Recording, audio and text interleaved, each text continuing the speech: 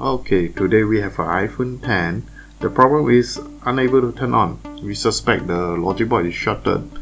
So how do we check the logic board is shorted? We can check by using power supply. So connect the cable on it, bring it up. We give some voltage in. If it draw the power before we turn it on, like this, on the left meter, it is definitely something is shorted. It is 1.4 now, it's already consumed all the power. Before repair, we need to take a look in the motherboard condition. We hit the board it's been repaired before because we are afraid that created a mess make us harder to detect the original problem. So the board seems good. Yeah. Okay, now we check with a thermal camera. When we connect the power, the faulty component will be hot. Sometimes we are lucky the problem is on the surface, I'm gonna show you the vision from the camera. We apply the voltage to the board now. It is normal that the cable is showing heat, but all the other places should be cold. Hmm. Look at here. This is not normal when this board is hot. And the heat doesn't come from cable. Really high chance another IC is beneath here creating the heat. Anyway, we should measure the battery line first. Because when the board is shorted, we need to know which section of the board is the problem. The first section is the battery line. We can use multimeter to check. So we measure the resistance. Resistance is 436, it is normal, so the problem isn't on this section, not the battery line problem. It is the second section. I'm going to show you the max stop of the voltage line. Okay, now we're going to check the schematic drawing.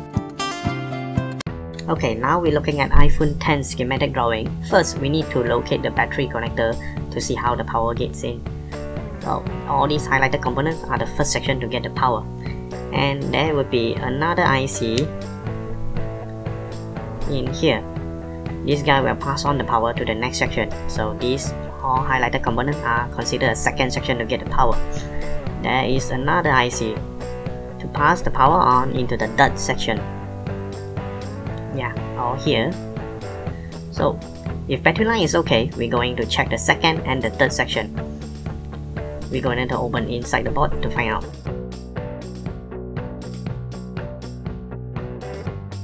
The iPhone 10 logic board has two layers. We're going to use a preheater to dismantle it. The preheater is specially designed for iPhone 10 Before that, we must do this. There's a sticker on top. We need to cut it here.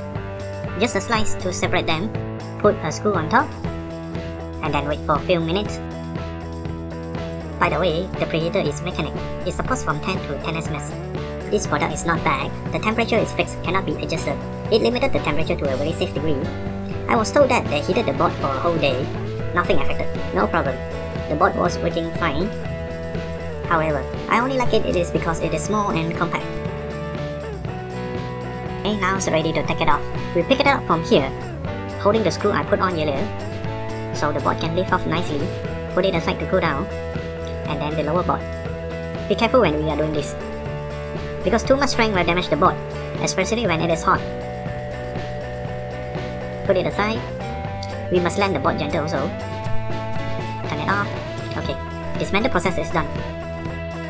Next, we're going to look at these two boards by using microscope to check any abnormal damage. Hmm, so far okay. No visible damage.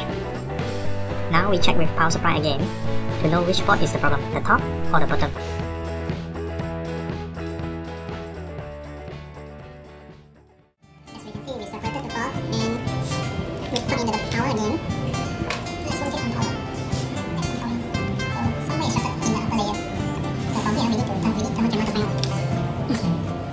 Confirm the problem on the top layer. Okay, now we look at thermal camera again. The hottest one is not the problem, but the second pinging one, that's the problem. I will show you. I'm going to explain that in schematic drawing. This is an iPhone 10 schematic drawing on the same page. The left two are the top layer board. The right two are the bottom layer board. Now we click on the battery connector. We can see the first to receive the power is this guy. It is the first section. Before the second section gets the power, there's one IC acting as a gate. This IC will pass on the power into the next section. And just now, the thermal camera seeing this guy is the hottest one. When we were looking from the top, the heat was coming from this spot. Exactly beneath this spot is that IC. When this section has any broken component, it will keep leaking all the voltage current, overdrawing the power from that IC. And this is why it is the hottest one. Now I'm going to show you how to find the problem without the thermal camera by supplying a direct power into this section.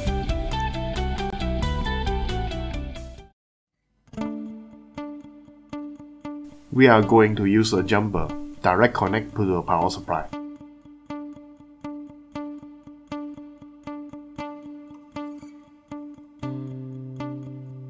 This is the IC, we don't need to remove it. We can just direct jump the power into the next section, like this. I would pick a easy spot there.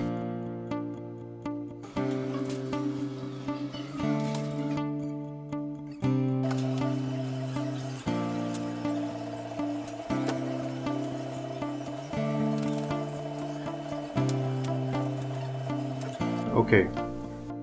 Now we see what's the difference with the thermal camera. I will be repeating the voltage high low high low like that. That's why you will see it's blinking slowly. Okay, now we can see the jumper we make is blinking and there's another one blinking in the middle. That's the real problem. This IC won't be hot anymore so then we can even use finger to feel which one is the problem. From this point we can use our old technique to locate the real problem. If we don't have the thermal camera, then the common technique would be the rosin and the freezer. Some people would even use water or their finger to touch the component one by one to feel which one is the hottest. Now I'm going to zoom in the problem. Now I'm constantly sending the voltage and I'm going to point for you this here. This is a capacitor. I'm going to show you in schematic.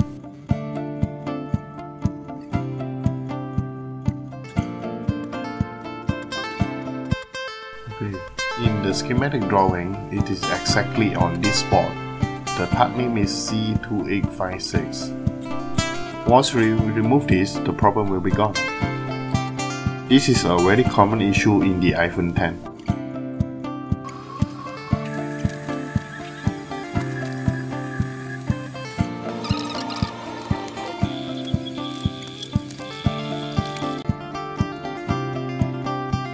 Okay, now we remove the jumper. We are not going to use it anymore. Begin to remove the faulty capacitor. Okay, we need to cut the black glue that's surrounding the capacitor. Do it carefully, we don't want to crack anything, especially the power IC. There's a little crack on the coin tower, but it is fine. And then we push it off from a very safe angle, like this. Okay.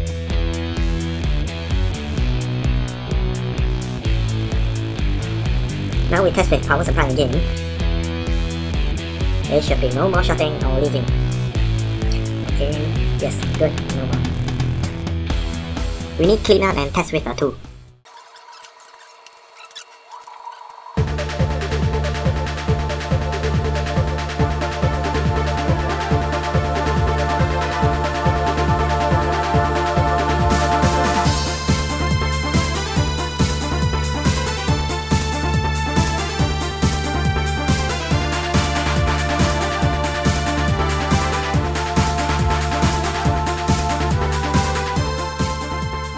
Before we assemble, We use a tool to temporarily combine both layers to test. Mijing C11. outtake model, don't buy it. Here how it looks with an extension cable to connect LCD. Put on the LCD, connect to the power supply. Turn it on. Now it is running. We have logo. Let's wait until it enter the iOS. Let's try to touch. Okay, data all safe. Now it's ready to assemble. Before we reassemble, we need to reball.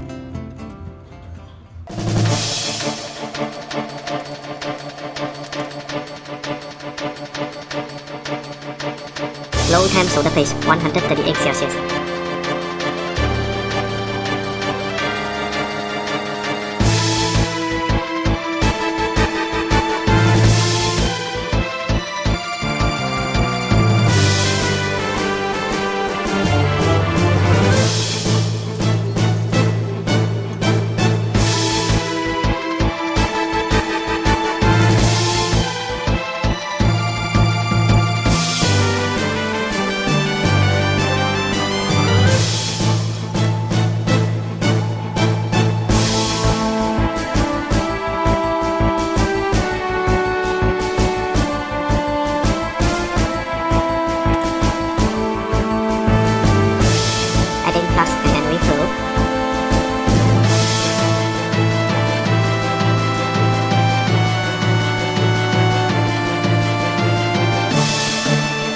Cleaning.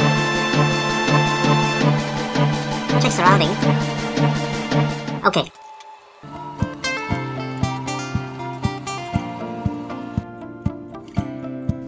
Normally we use preheater to install it back, but this time I'm going to install it by hot air for fun. It will be a boring video if we use the preheater. I wanna make this video as POV,